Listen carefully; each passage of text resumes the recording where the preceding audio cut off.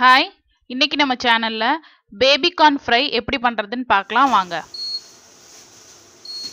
இப்போ நான் பேபிகார்ன்ஸை கட் பண்ணி வச்சுருக்கேன். அதை கொஞ்சம் தண்ணியில் போட்டு வேக வச்சு எடுத்து வச்சுக்க போகிறேன் இப்போது பேபிகார்ன் செய்கிறதுக்கான பவுடர்ஸ் எல்லாமே எடுத்து வச்சுருக்கேன். இது கார்ன்ஃப்ளவர் மாவு இது அரிசி மாவு இது மிளகா பொடி இது மிளகு பொடி இது கொஞ்சம் மஞ்சத்தூள் இது கறி மசால் தூள் எடுத்து வச்சுருக்கேன். அப்புறம் தேவையான அளவுக்கு உப்பு.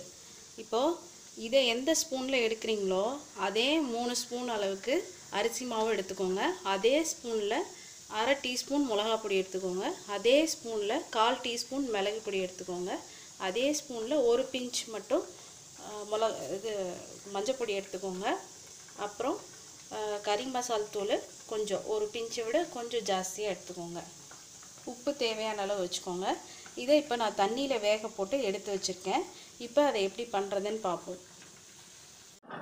இப்போது வேக வச்சு எடுத்து வச்சுருக்க பேபிகார்னில் மசால் பொடியும் சேர்த்து பெசல் வச்சு அதுக்கப்புறம் அதை பொறிச்சு எடுக்க போகிறோம் இப்போ நான் உங்கள்கிட்ட காமிச்ச எல்லா மாவையும் இப்போ ஒன்றா போட்டிருக்கேன்.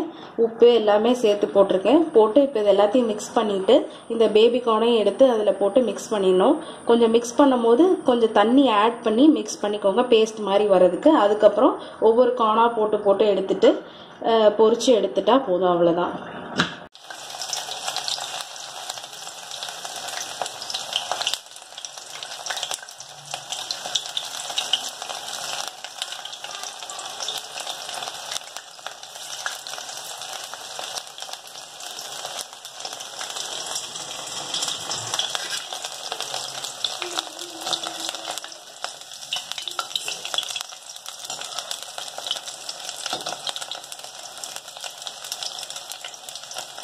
இப்போது பேபி கார்ன் ஃப்ரை ரெடி ஆயிடுச்சு. இதை நீங்கள் சாப்பிட்லாம். இதை நீங்களும் செஞ்சு பாருங்கள் செஞ்சு பார்த்துட்டு எங்களோட சேனல் உங்களுக்கு பிடிச்சிருந்தா கமெண்ட் பண்ணுங்கள் ஷேர் பண்ணுங்கள் லைக் பண்ணுங்கள் சப்ஸ்கிரைப் பண்ணுங்கள் தேங்க்யூ